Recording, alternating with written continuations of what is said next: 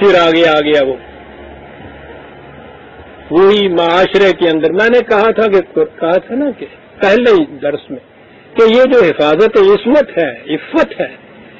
बड़ा बुनियादी मसला है, और कुरान बड़ा ही ज़ोर इस पे देता है, और मैंने उस दिन आपको बताया था, मगरबी महक्कीन की तहकीकात की रूह से, कि इसका ताल्लुक सिर्फ़ अफराद से नहीं है कौमों के अरूज व जवाल से इसका बुनियादी ताल्लुक है।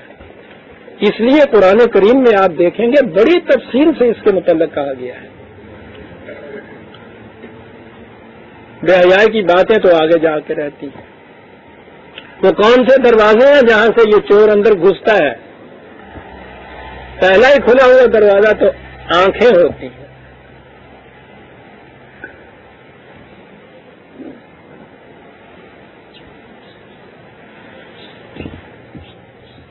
वो तो इसे दरे फितना कहता है।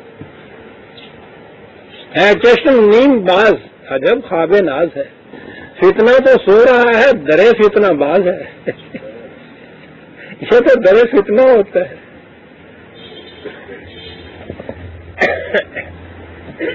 कुल में नीना युगजू में नब नबसारिम व या फजू करू जाऊँ ये रसूल, जमात मोमिन से कह दो। कि अपनी निगाहों को बेबाक न होने दो, इससे तुम अपनी इसमत की हिफाजत कर सकोगे। क्या बात है। कितना गहरा ताल्लुक बता दिया इन दोनों के अंदर। पुराने करीम जुर्म सरजद होने के बाद की सजाओं के ऊपर ही नहीं आता, वो तो कभी होता है। वो हिफाजती तदावीर पहले बयान करता है कि ये हो ही ना। ये कहना कि ये उर्जू में नफसारे हूँ याफजू गुरूजा हूँ कितना गहरा ताल्लुक है कि ज़ोर तो हम दे रहे हैं इस पे तो हिफाजत इसमत नहायत बड़ी ज़रूरी चीज़ है। लेकिन उसके लिए हम तुम्हें बताते हैं कि चोर इस रास्ते से आता है। निगाहों को बेबाक न होने जाले का अजका लहो। ये है वो चीज़ कि जिससे तजकिया जिसे आप कहते हैं। इंसानी सलाहियतें नशो नमा पाती हैं। पहली चीज़ इसमें यह है कि निगाहों को बेबाक ना होने दो। और ये देखिए कि पहले मर्दों से कहा है। मर्दों से कहो कि अपनी निगाहें जो है नीची रखें। बेबाक न होने दो। और आगे है, कुल लिल मोमिनात या गुजना मिन अबसार हिन्ना व या फजना फरूजा। बाद में औरतों से कहा।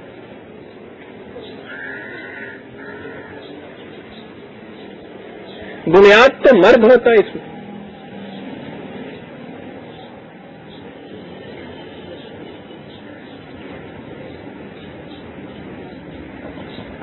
हम सारे इल्ज़ाम जितने भी है, औरत पे डालते हैं। मर्द पाक दामन रहना चाहे तो क्या कर लेगी औरत? वो इब्तदा इससे करता है इनसे कहो कि अपनी निगाहों की को बेबाक ना होने दे। रजे बसर के माने, हमारे यहाँ तो कहते हैं ना, निगाहें नीचे रखे और फिर उसके बाद आगे फिर। मसाइल चलते हैं कि साहब नीची निगाह रख वो चले कैसे शहरा में जंगल में तो शायद चल भी जाए फिर। ये सड़कें हमारी चार चार आँखें खुली हुई हों, जब भी एक्सीडेंट होते हैं। तो ये यूँ निगाह करने की बात नहीं। अब ये जो मैंने कहा है कि ये बात असल में ये नहीं है। ना ही ये बात वो है जो कहा है खातन से, औरतों से कि निगाहें यूँ रखें। और उसके बाद तो हमारे यहाँ वो आ गया ना, वो जो निकाब बना हुआ होता है। तो उसके अंदर, यानी वो आँखें, चार आँखें भी उसमें तो खोल लें तो जब भी कुछ नहीं पता चलता। अब ये जो बात है कि यूँ निगाहें यूँ रख लेना और वैसे, सुनिए अजीजा ने, मन क्या अजीब चीज़ कहता है, गौर कीजिए। कहा जो हमने कहा है, सुना तुमने कहा यह है कि ये इसलिए है, एहतियात ये बरतो कि हिफाजत इसमत तुम्हारी हो। दिलों के अंदर तुम्हारे ये तस्वर कायम हो। निगाहें इस ख्याल से तुम्हारी ना बेबाक हो कि वो चीज़ है। इन अल्लाह खबीरुम बेमा यसनाउन और जो तुम मसनू तरीकों से करते फिरते हो हमें पता है क्या करोगे। या मेरे खुदा पे अगर ईमान ना होता कि खबीर अलीम है तो हम कहते कि पता नहीं अर्श तो बैठे कर के लग गए ना चीजा ये भी कुछ होगा मेरी बेटियाँ, मेरी बहनें मुआफ रखे, बुरके वो ईजाद होंगे। कि दो बुरके से जो कुछ नहीं नज़र आता, बुरके के अंदर से उससे ज़्यादा भी देखा जाता है। ये यूँ चलने वाले जिनकी निगाहें यूँ है, कनखियों से वो कुछ कर जाएँगे जो आँखें फाड़ के नहीं कर सकते। इन अल्लाह खबीर मायस नऊन आहा मेरे अल्लाह। क्या? ने मन, मैं तो तशरी नहीं इसकी कर क्या क्या किया है?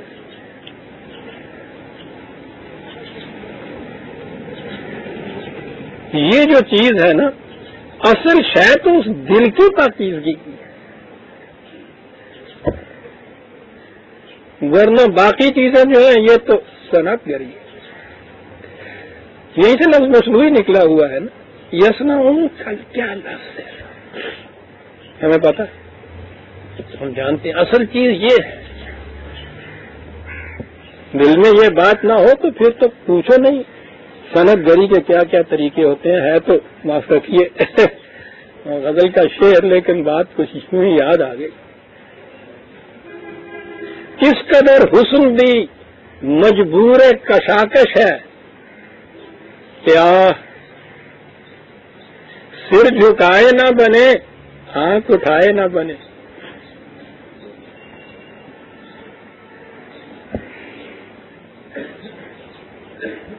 सिर झुकाए न बने। आँख उठाए न बने।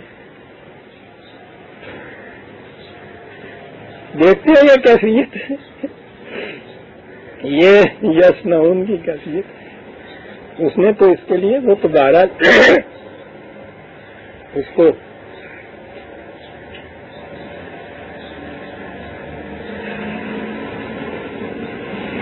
अंदाज और था कहने का।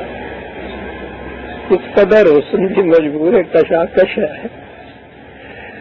या सर झुकाए न बने आँख उठाए न बने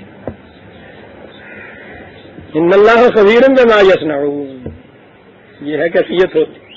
वकुल्लिल मोमिनात या गुजुजना मिन अबसार हिन्ना व या फजना फरूजा हन्ना मर्दों से एक कदम आगे बढ़े। कहा कि आप इन खातन से कहो कि ये भी निगाहों को बेबाक न होने दें और इसके साथ और आगे इनके मुतलक वला युद्दीन जीनत हन्ना इल्ला जहर मिनहा।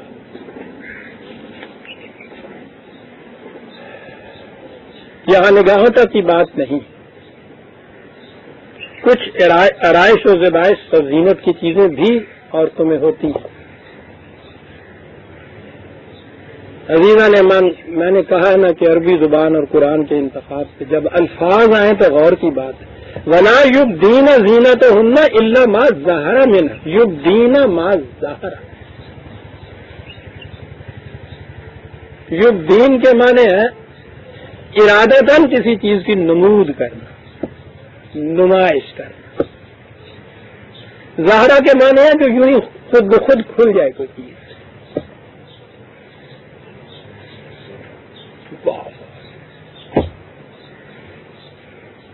कहा यह अलग बात है कि वो चलते हुए, हाथ खुले हुए हैं, जरा आस्तीन ऊपर चढ़ गई, पल्लू इधर हट गया, सिर से कपड़ा यूँ हो गया। ये माँ जहरा वाली बात है, लेकिन असल चीज़ है युग दीना जीना था बिल इरादा नमूद और नमाइश न करे।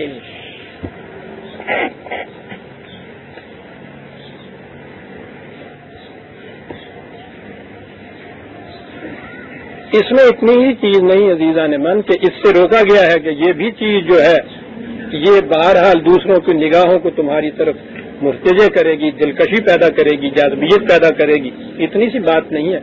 इसमें बड़ी गहरी बात है। यहाँ नजयुद्दीन है, एक दूसरे मुकाम पे है। हाँ।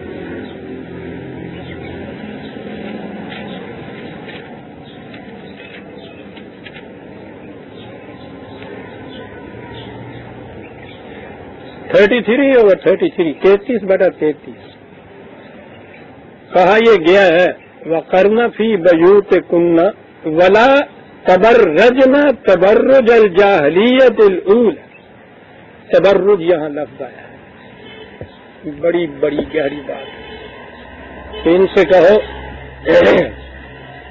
तबर्रुज न करें। ज़्यादा वजाहत में नहीं जा सकता, ना जाऊँगा। ये तबर्रुज जो है, बेरीम ये बुर्ज इससे ये लफ्ज है।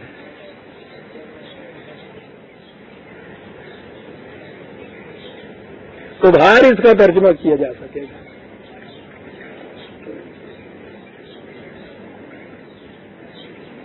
नुमाइश और नमूज का ये जज्बा कि जिसमें ये चीज़ उभार के सामने लाई जाए।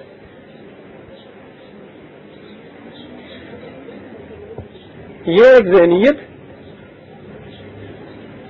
जीनत और आरइश को कुरान ने हराम नहीं करार दी। बल्कि वो तो बड़े ज़ोर से वहाँ कहा कि रसूल इनसे पूछो कि कौन है कि जो हमने जो जीनत की चीज़ें बनाई हैं, उनको हराम करार दे। कौन उन्हें हराम करार दे सकता है? यूँ कहा गया है। जीनत की चीज़ें हराम नहीं इनसे जो नमूद हुसन का जज्बा अंदर पैदा होता है, वो है जिसकी इसलाह चाहता है कुरान। ये जज्बा नहीं पैदा होना चाहिए। और इसमें एक बड़ी गहरी हकीकत है। वो औरत और मर्द की ज़िंदगी को दो कंपेनियन की ज़िंदगी बताता है, दो रफीकों की ज़िंदगी बताता है। ज़िंदगी की गाड़ी इन दोनों से चलती है। ये हम दोस्त चलते हैं। इन दोनों के हाथों से एक मुश्तरका प्रोग्राम सर अंजाम पाता है। इनका वो ताल्लुक ही बाहमी रफाकत का रखता है। लफ्ज तो हमारे यहाँ भी ये रह गया, रफीका हयात। लेकिन वो रफीका हयात बीवी नकाबी, रफीका हयात कह लिए वो कभी अपने खान को रफीक हयात नहीं कहती हमारे। इनका ताल्लुक रफाकत का था। आहिस्ता आहिस्ता आहिस्ता आहिस्ता मर्द ने अपना हाथ गालिब करने के लिए इस कदर उनके उसके अंदर एहसास कमतरी पैदा किया औरत के अंदर। अब वो अपने लिए मकसद ये समझती है कि मैं एट्रैक्टिव बनू मर्द की निगाह के अंदर। जाजब निगाह बनू, यानी और उसके पास वो समझती है, कोई खूबी नहीं मेरे पास। अपनी सलाहियतों की बिना पर, रफाकत के अंदर जो कुछ सरंजाम देने या फ़राइज उनकी वजह से बराबरी की हैसियत से ये कुछ करूँ, ये तो और बात होती है ना, दो रफीक जो ज़िंदगी के होते हैं, वो एक दूसरे की सलाहियतों की बना के रफीक होते हैं। उसे यह कहा गया कि रफाकत की तो बात है नहीं। तुम तो, हो ही ना किसी चल। तुम तो बुनियादी काम कर ही नहीं सकती। ये तो हमारा ही काम है साथ अब आहिस्ता आहिस्ता उसके दिल में ये बात डाली तो रफाकत की कैफियत उसके दिल से निकल गई कि मैं रफीका मैं कंपेनियन हूँ इसकी। बराबर की हम दोस्त चलने वाली हूँ सफ़र हयात में। तो फिर वो क्या बात रह गई? उसके दिल में जो इंफीरियरिटी कम्प्लेक्स पैदा हुआ, अब उसने ये समझा कि मैं किसी तरह मर्द की निगाहों में जाजिब बन के रखू अब ये माफ़ रखे मेरी बेटियाँ, बहनें खिलौना बन के रहेगी मर्दों के लिए। कुरान ये पोजीशन नहीं देना चाहता औरत को। वो दोनों को इंसान कहता है। दोनों को वाजिब तकरीम कहता है। वो दोनों को एक प्रोग्राम की तकमील तक पहुँचाने के लिए रफीक एक दूसरे के कहता है। दोनों को यकसा सलाहियतों का मालक बताता है, वो इनमें से जिन्स के एतबार से किसी को गालिब और किसी को पस्त नहीं बताता। पुराने करीम की वो आयात मुतद आयात में, जो सलाहियतें मर्दों की हैं, वही सलाहियतें औरतों की वो बताता जाता है। इन्नल मोमिनीन अवल मोमिनात अवल मुस्लिमीन अवल मुस्लिमात वो जो सूरा सूरा की वो आयत औरत के दिल में वो एहसास कमतरी पैदा नहीं होने देना चाहता और जब वो ये समझेगी कि मैं फरायज हयात की अदायगी में साथ साथ चल रही हूँ मर्द के ये जज्बा ही पैदा नहीं होगा कि मैं हर वक्त अट्रैक्टिव बनती रहूँ इसके निगाहों के अंदर अट्रैक्टिव बनती है उस काम की वजह से जो वो करके दिखा रही है ये जो कुरान करीम ने कहा है ना, कि इनसे कहो कि नमूद हुसन का जज्बा ना पैदा आपके अंदर करें।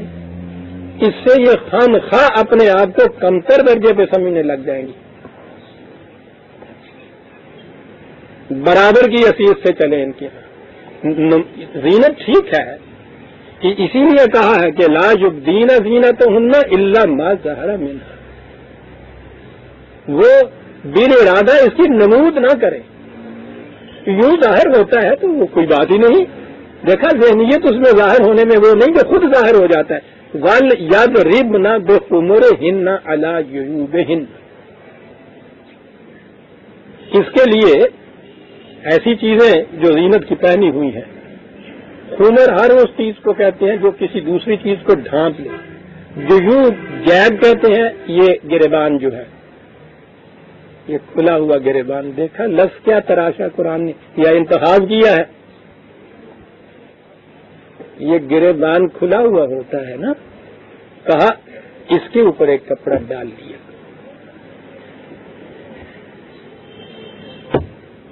जयूबन।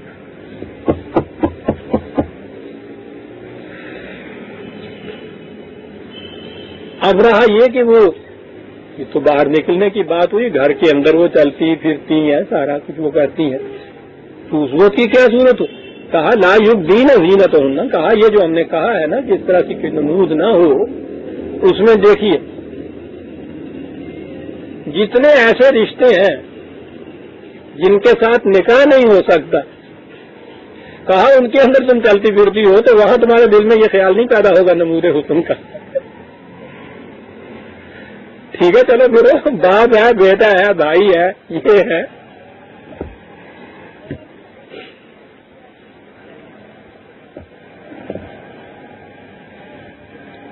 इंसानी जहनीत भी अजीब चीज़ है, अजीजा ने मानी।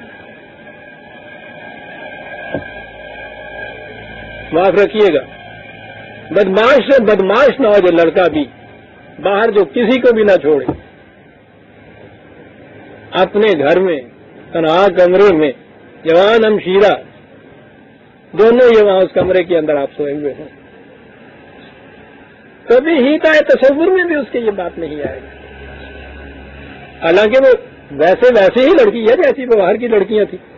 जिनकी उसकी कैफियत ये थी कि वो अगर यूँ नहीं कभी को देख पाता तो वो कहता मन अंदाजे कदातरा मीश नासवासी कद तो पहचान जाने पर कौन जानती है?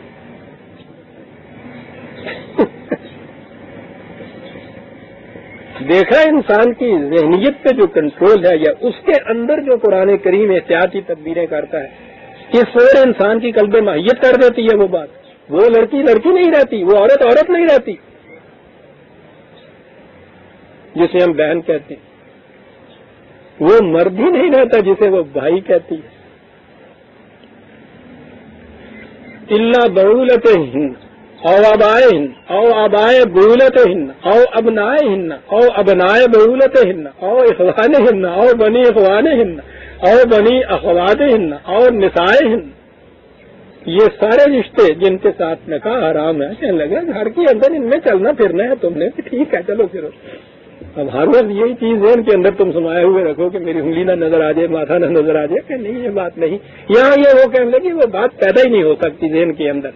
और नसाए हिन्ना। यह घर में ये जो औरतें काम काज करने वाली औरतें होती है वमा मना का पैमानो हन्ना। अब ताबईन गैर उलिल बात मिनर रिजाल व तिसमिन नजीन लम यघरू अला औरात नसाए या वो बूढ़े बूढ़े घर के अंदर तो पुराने कादम भी जो हो जाए, जिनके हाथों में तुम पली पोसी हो, बाबा जी कहती हो उनको भी।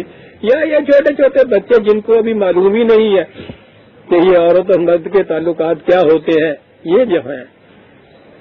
ये इनके मुतलक ये बात नहीं जो हमने पहले कही। है पहली बात अजीजा ने मैंने कहा कि भाई जो हैं, उनके मुतलक कहते हुए डरता हूँ कि मैं कहूँ, अच्छे वक्तों की ये बात है। अब तो उनको अच्छे वक्त कहा ही नहीं जाता।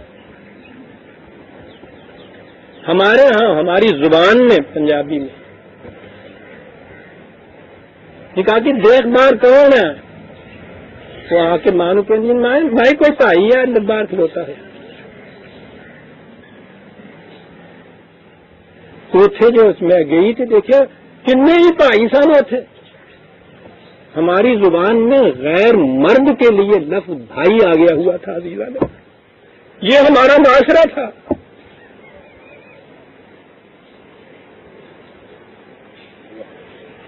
जो जानते हैं इस ज़ुबान को, वो मेरी ये शहादत देंगे इस बात की। हमारे यहाँ मर्द के लिए लफ्ज मर्द नहीं था।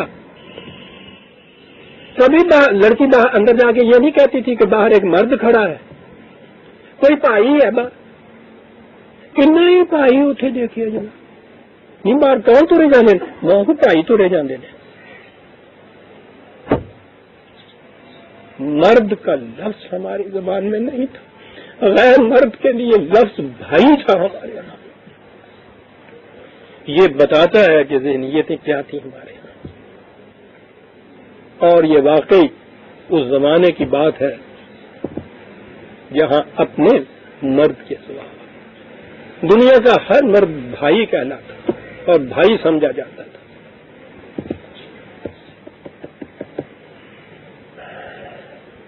कहा कि ये जो है रिश्ते, इनमें कोई बात और आगे चला। कहा, घर के अंदर भी तुम फिर रही हो।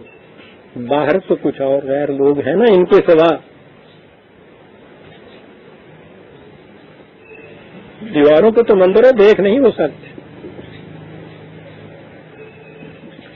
न तनहा इश्क आज गुफ्तार खेजर, बसे ई आतिशाद रफ्तार खेजर। ये इश्क की आग सिर्फ़ बातों से नहीं भड़कती। चाल से, ढाल से भी ये बड़े कोठा करती है। वो कहता है, वला यजरिब ने बाजुल हिन्ना लमा जो फीन अमीन जीनत हिन्ना घर के अंदर भी चलो। पाओ में अगर ऐसा जेवर पहना हुआ है कि जो छनकता है तो पाँव ज़ोर से ना मारो कि इसकी आवाज़ बाहर गैर मर्दों के कान में जाके पड़ जाए। चलने में तो वो चनकता है ही। उसकी वो मान्यत नहीं है। ला यद रुदना इरादे तुम ज़ोर से पाँव न मारो।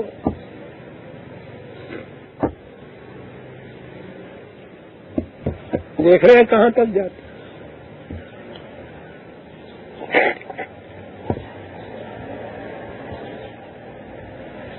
वतूब अल्लाह जमीयन, अय्युहल मोमिनूना लाल्लकुम तुफलिहून। आए जमात मोमिनून, ये तुम सब के लिए हकाम हम दे रहे हैं। अयाम जाहलिया के अंदर तुम सब कुछ करते थे। अब उस रास्ते को छोड़ो। इस रास्ते की तरफ़ आओ। लाकुम तुफले वो जो अनवन ने कहा था कि इन जवाबत के ऊपर जो कौम कायम रहती है, जिन कामयाबियों के ऊपर वो पहुँचती है, दुनिया की कोई कौम वहाँ नहीं पहुँच सकती। लाकुम तुफले हूँ ताकि तुम कामयाबियों की इंतहा पे पहुँच जाओ। इन चीज़ों की वजह से। हाँ सूरह अनूर की आयत आयत तैतीस तक हम आ गए अजीजा ने मान। इकतीस तक मुआफ रखिए बत्तीसवीं आयत से हम आइंदा लेंगे। रबना तकबल मिलना इन्ना का अंत समीम हाँ एक सेकंड के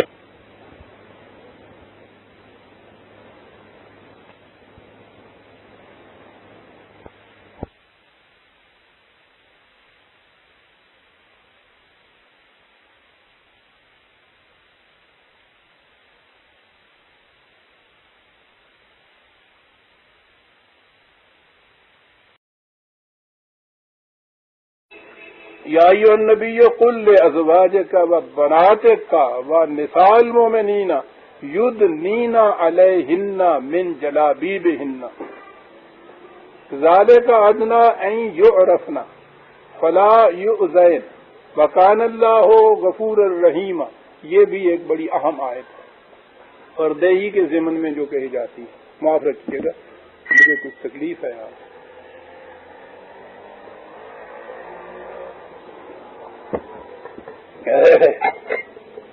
कहा कि ए रसूल, अपनी बीवियों को भी, अपनी बेटियों को भी, मोमिन औरतों को भी ये ताकीद कर दो कि वो बाहर निकले। मैंने अर्ज़ किया ना कि वो ज़िंदगी कुछ ऐसी थी जैसी हमारी गाँव की ज़िंदगी होती है। औरतों को बाहर निकलना ही होता था। कि वो बाहर निकले तो जो कुछ उन्होंने पहना हुआ हो, उसके ऊपर एक, जिसे आप ओवरऑल कहते हैं ना, ये आप अस्पताल में डॉक्टरों या नर्सों को देखते हैं, ऊपर वो चोगा सा एक सफ़ेद पहना हुआ, पूरे का पूरा पहना हुआ वो होता है। गालिबन उसे ओवरऑल ही कहते हैं। कहा कि बाहर निकलें तो इस किस्म का एक ओवरऑल सा ऊपर पहन लिया करें।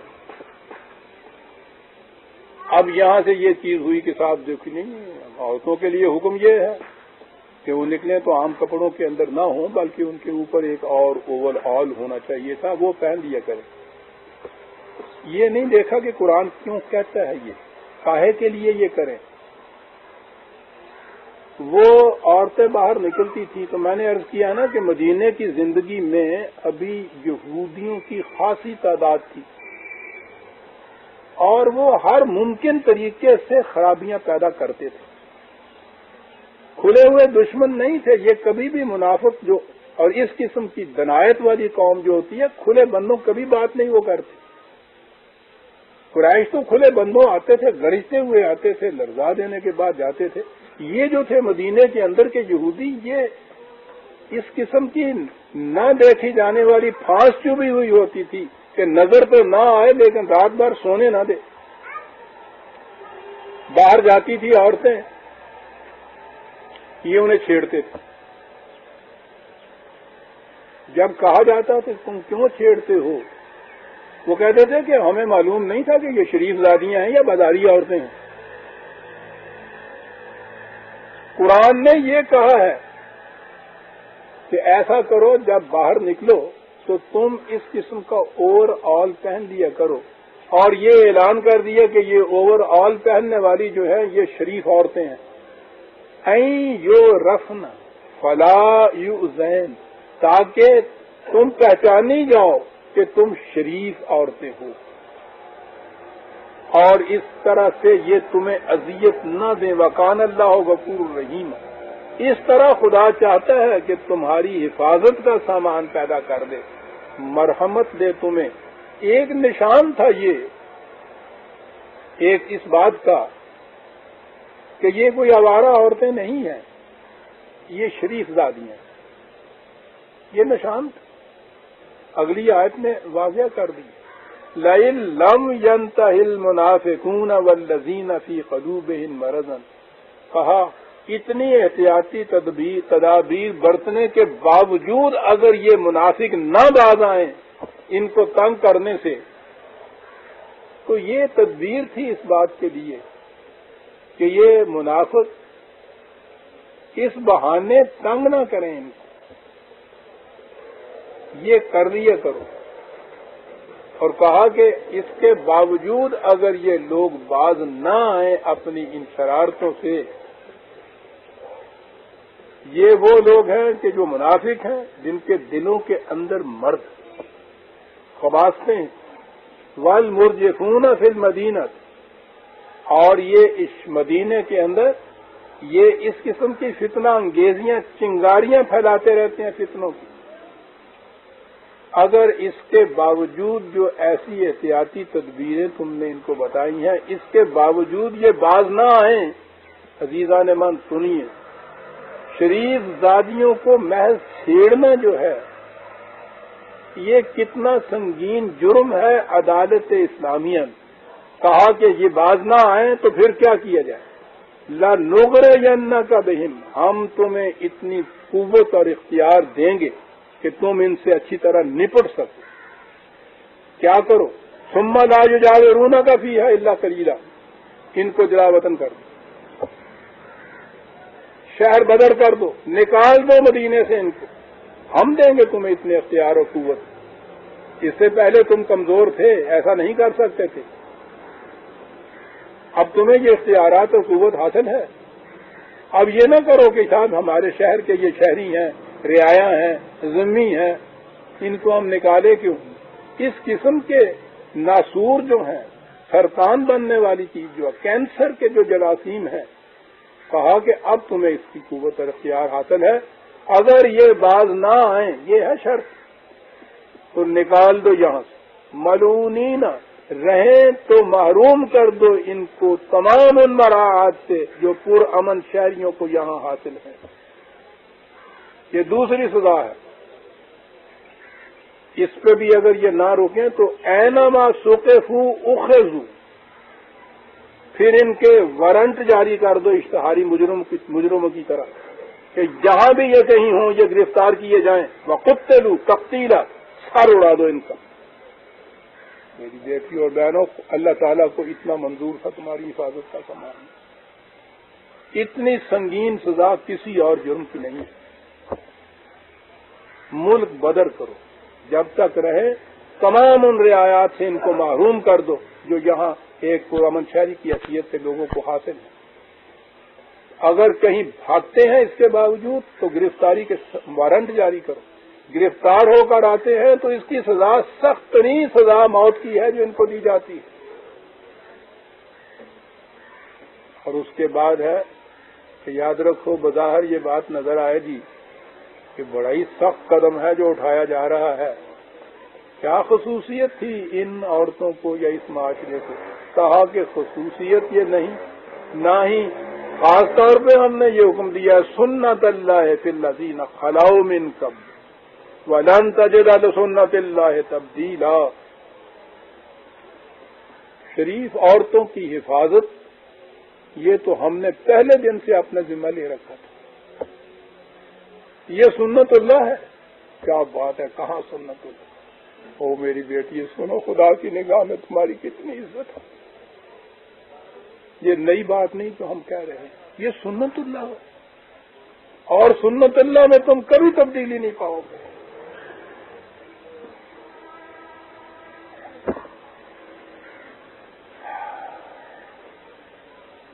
ये कह रहे हैं कि वो इनकलाब जिसके मुतलक तू इतनी तंबीहात दे रहा है, डरा रहा है, धमका रहा है कि आएगा तुम्हारे जराइम के नतीजे में वो आने वाली बात या सालों का या सालों का नास आने सा कुल इन्नमा इल्म है इंदल्ला व मा युदरी का लाल सात सकून करीब।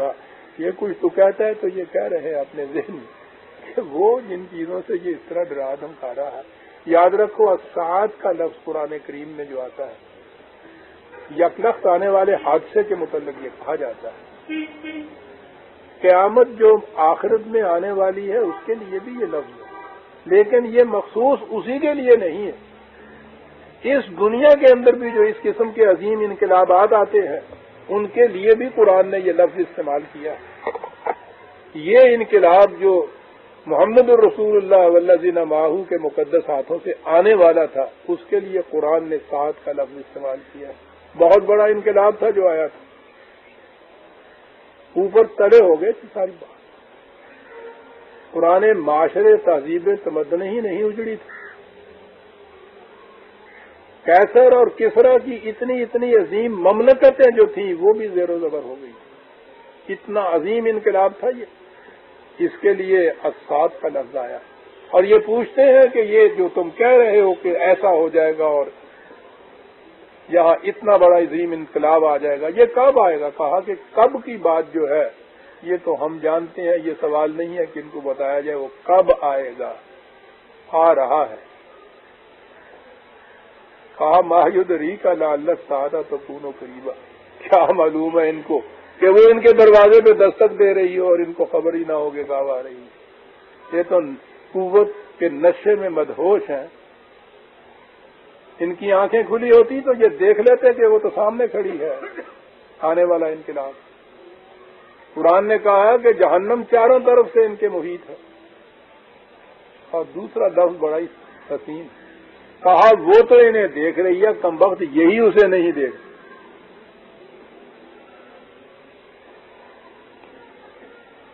इन लानल काफरीन वादा लहम सईर खालदीन फीहा अबद ला जदूना वलीम वला नसीरा वो इनकलाब आएगा तो फिर ये जो इस तरह मुखालफतें कर रहे हैं, मुनाफतें बरत रहे हैं, तुम देखोगे कि इनके लिए किस कदर शदीद सजाएँ इसके लिए होंगी। कितना बुरा हाल इनका उस वक्त होगा, किस कदर तबाह हो बर्बाद होगी। कोई इनका मददगार नहीं होगा, कोई इनका वाली वारस उस वक्त नहीं होगा। और तारीख ने हमको बताया है कि चंद दिनों के बाद जब ये इनकलाब आया है तो ये लोग, खास तौर पे ये यहूदी जो मदीने में बैठे हुए, ये कुछ करते थे। वॉन्डरिंग जू की हैसियत से दुनिया में जलील और खार फिरते रहे कहीं घर तक नसीब नहीं था इनको। खाना बदोश थे ये। वॉन्डरिंग जू इनको सारी दुनिया कहती थी। ये कुछ हुआ था इनके साथ। यौमा तो कल्लब वजूह हम फिन्नारे। यकूलूना या लैतना अतान रसूल वकालू रबना इन्ना अताना सादतना व अजल्लू अजल्लू न सबील बड़ी अजीम चीज़ें है। कुरान करीम में ये तशबीहात के रंग में एक बात बयान की है कि दोजख में जब ये लीडर और उनके फॉलोअर्स जमा होंगे तो उनके एक दूसरे के साथ मुकालमा क्या हो?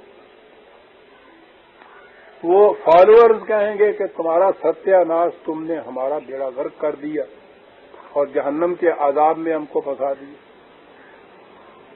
वो इनसे कहेंगे कि उसमें हमारी ज़िम्मेदारी है। हमने तुम्हें मजबूर किया हुआ था, घसीट के ले आए थे हम। हमने आवाज़ दी, तुम हमारे पीछे आ गए, तुम्हारे अपने दिल के अंदर था सब कुछ। हमने तो इतना ही किया था। हमने तुम्हें मजबूर किया था। वो कहेंगे, जी, इससे ज़्यादा मजबूरी और क्या होती है? तुम ऐसी साजिशें किया करते थे जो हमारे वहम गुमान में भी नहीं आ जाती थी। तुम्हारे जाल इस कदर दामे हम रंगे ज़मीन थे कि हम उनको देख ही नहीं पाते थे, हम फंस जाते थे उनके साथ। ये कुछ करते थे तुम? बड़ी तफसील में है ये मुकालमे। तो क्या ये उस जहन्नम के मुकालमे है? ये उसी जहन्नम के नहीं कि जिसके अंदर कौमें आकर गिरफ़्तार हुआ करती हैं। उस वक्त फिर बेनकाब होते हैं लीडर। उस वक्त आवाम का शूर भी बेदार होता है। वहाँ उस वक्त वो सोचते हैं कि हमारे साथ ये किसने किया? फिर वो एक दूसरे को तान देते हैं कि इस किस्म के ये लीडर हमारे यहाँ के। हाँ, वो कहते हैं कि जैसा दूध होता है वैसी बनाई आती है उसके ऊपर। चल भाई ज़िम्मेदारी दूध की होती है। कुरान ने मुख्तलिफ़ मकाम पे कहा, यहाँ भी ये कहा कि इस किस्म का जब उनके ऊपर ये शदीद तबाही आएगी तो वो ये कहेंगे कि एक काश हम खुदा और रसूल की हदायत करते। हमने अपने इन बड़े बड़े सरदारों की, इन लीडरों की, इनकी हदायत की, इनके पीछे चले और इन्होंने हमें इस कदर गुमराह कर दिया। रबना आते हिमजैन मिनल एजाब वल अन हम कबीरा। कहा कि है हमारे नशोनुमा देने वाले ये अवाम कहेंगे कि इन लीडरों से हमसे दुगनी सजा दे। यहाँ तो इतना ही आया है। दूसरे मकाम पे है कि वो जब कहेंगे कि इनको दुगनी सजा दे तो जवाब मिलेगा कि तुम दोनों को दुगनी सजा मिले इन्हें तो इसलिए कि ये खुद पहले इन्होंने आप जुर्म किए और तुम्हें भी वरगलाए तुम्हें इसलिए कि इन लीडरों के अंदर अपनी कुवत क्या थी? ये तुम्हारे बनाए हुए लीडर थे। तुम्हें तो तुम के सिवा कोई कुछ ना कहता था। जनाब, हमने बनाया, हजूर हमने किया। क्या बात है कुरान क्यों इनके पास कुवत कौन सी थी ऐसी? तुम्हारी दी हुई कुवत के बलबूते के ऊपर ये इतने बड़े लीडर बने थे। तुम्हें दौड़ा आज़ाद इसलिए है। कि तुम्हें इन, इनको तुमने इतने अख्तियार और कुतें दी जिसकी बिना पे इन्होंने ये जराम किए, इसलिए तुम भी बराबर के मुजरम ये बहरहाल उस मकाम पे तफसील आएगी यहाँ ये एक बात आई।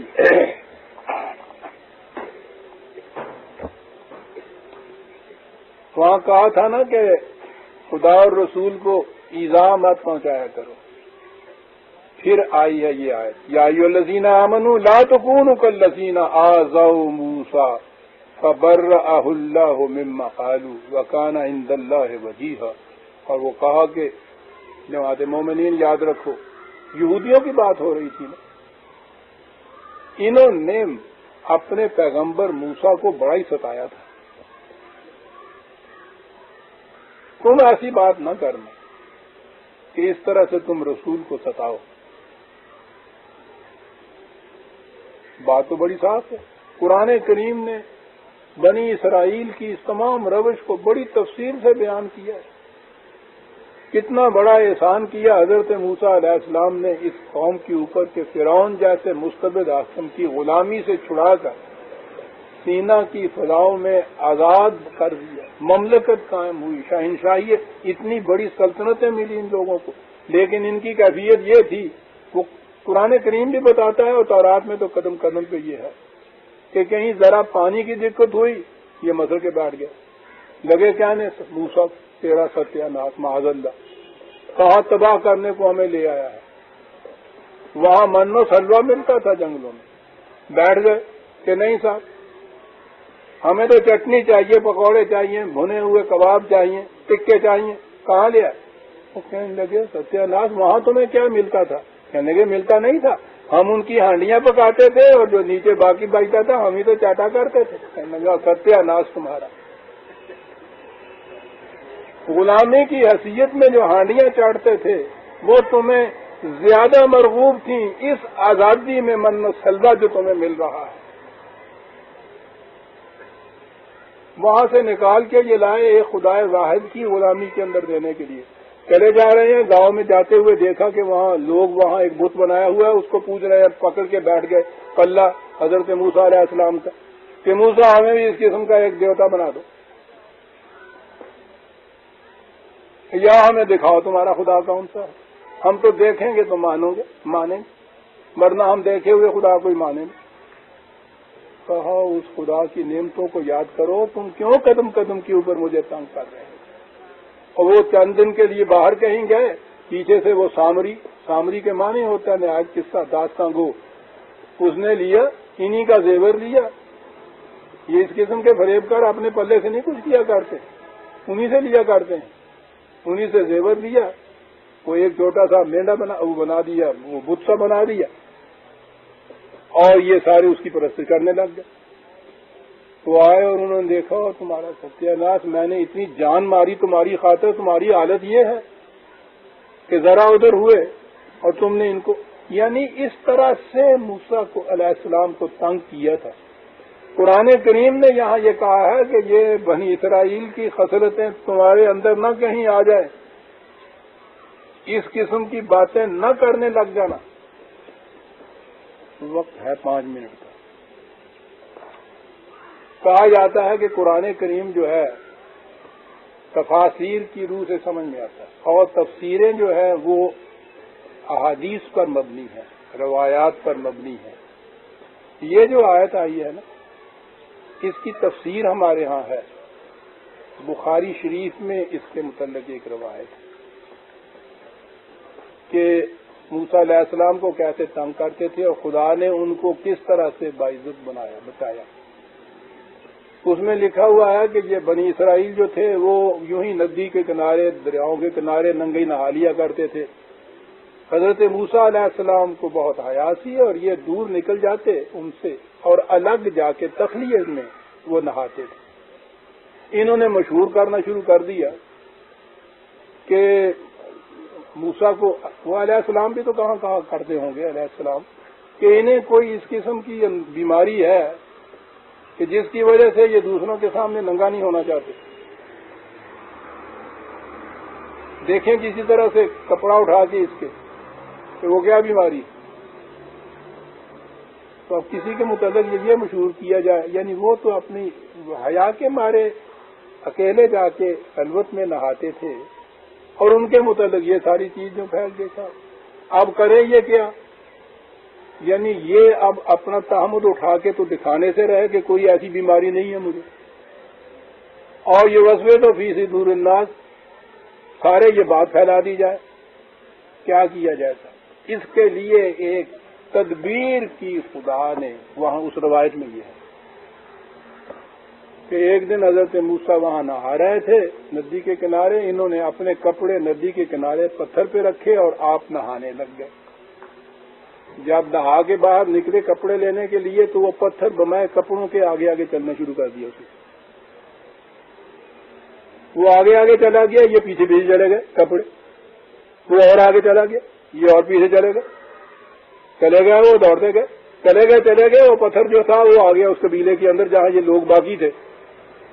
और वहाँ उन लोगों ने देख लिया, हज़रत मूसा को नंगा और कहा, नहीं नहीं, कोई बीमारी नहीं है। तो अल्लाह ताला ने इस तरह हज़रत मूसा को इस ज़रिए से पार कर दिया था। ये है इस आयत की तफसीर अजीजा ने मान या यो लजीना आम तकुल्ला वकूल कौलम सदीला। है जमात मोहमिन इस किस्म की बातों की तरफ़ तुम ना हो जो मूसा के साथ इस कौम ने किया था। साफ़ सुथरी बात कौलू कौलन सदीद। क्या बात ये सदीद जो है, मैं कभी नहीं भूलता। वज़ीर खां की मस्जिद के पीछे जो दीवार है ना, कभी उसको जाके देखना। दुनिया के बड़े बड़े सयाह आते हैं उसको देखने के लिए। इतनी लंबी दीवार है और इतनी ऊँची दीवार है। उस जमाने में जब अभी ऐसे आज़ाद भी भी नहीं बने होंगे, इस कदर सीधी है, वो कहते हैं कि जिसके अंदर कहीं जरा सा फ़र्क नहीं आया। ये जो सद इस किस्म की होती है ना, साफ़ बिल्कुल वो होती है कौल सदीक। ऐसी बात कहो जिसमें कहीं टेढ़ ना हो कजी ना हो, कोई पेच ना हो, कोई खम ना हो। कहीं से ये नहीं कि उभरी हुई, कहीं से नीचे गई हुई। साफ़ सुथरी दो टोक कौल सदीब ऐसी बातें किया करो। पेशदार बातें ना किया करो। यही वो चीज़ है। युसलह लकुम आमा लकुम व यगफिर लकुम जनूबकुम। किस तरह से तुम देखोगे कि तुम्हारे अमाल में इसलाह पैदा हो जाएगी। तुम्हारे जो छोटी मोटी सी लग्जशें कभी होती हैं, इस किस्म के हुस्न अमल के वज़न से वो जो है, उनका पलड़ा झुकेगा नहीं, ऊपर रहेगा। हुस्न अमल का पलड़ा झुकता चला जाएगा। वमन जो तो अल्लाह व रसूल वक़द फाजा फौजा नजीमा और जिसने भी इस निज़ाम खुदाबंदी की अकायद की, इसके बाद याद रखो, फाजा फौजन अजीमा दो लफ्जों में बात कर। तमाम मजाहब के अंदर मुंतहा जो है इंसान के हुसन अमल का, मज़हब की पैरवी का नजात है। नजात के माने है किसी अजाब से छुटकारा हासिल होना। कुछ हासिल नहीं होती कोई चीज़। छह महीने की कैद के बाद जब वो वापस आता है तो वो कैद से रहाई होती है सिर्फ़। कुछ मिलता नहीं है और। नजात के माने ये थे। या बीमारी के बाद जब आदमी तंदुरुस्त होता है तो पहली हालत पे आ जाता है एज यू वर हो जाता है। नथिंग एंड कुछ हासिल नहीं होता उसे। तमाम मजाहब के अंदर मजहबी एतायात की, इबादत की, कवानीन की अहकाम की, पैरवी का नतीजा ये है कि इंसान जिस मुसीबत में फंसा हुआ है इससे छुटकारा हासिल कर ले, जैसा पहले था वैसा हो जाए। हुआ क्या ये? अंदाज़ा लगाइए। जैसा पहले था वैसा फिर हो गया। बात बड़ी लंबी है, अगर मैं हर मज़हब का आपको सुनाऊं तो अब वक्त नहीं है। मैं तो एक लफ्ज कह रहा कुरान ने ये नजात का तस्वर नहीं दिया कहा, ये जिसने किया, फकद फाजा फौजन अजीमा। फौज और फौज होता है अचीवमेंट जिसको कहते हैं। उतने, उसने इतना कुछ हासिल किया कि जो बहुत ही बड़ा हासिल करने की बात है। अचीवमेंट होती है दीव के अंदर। एज यू वर नहीं होता इंसान उसके अंदर। सूरह आजाब की आयत इकहत्तर तक हम आ गए। अगली आयत जो हाँ मैं अभी अर्ज़ कर दूँ, ये वो आगे ही आयत बड़ी मशहूर। कि अल्लाह ताला ने अपनी अमानत को जमीनों और आसमानों के सामने रखा और उन्होंने ना कर दिया कि ना बाबा हमारी तोबा हम तो नहीं इसको उठा सकते। और इंसान ने इसको कहा कि भाई देखो, खुदा के सामने ये, वो अब बेचारा लिए जा रहा है, अपनी आंद को हाथ में उठाए। और वो तो लेते नहीं है, उठाते नहीं है तो ये तो बड़ी बुरी बात है, समझिए ना? ये तो बात नहीं तो इसने आगे जाके कहा कि जी अच्छा ये नहीं उठाते तो हमें दे दीजिए। खुदा ने इसके सिर पे रख दी और उसके बाद कहा इन्ना वो काना जुलूमन जो उड़ा हुआ जायल था उठा के ले गया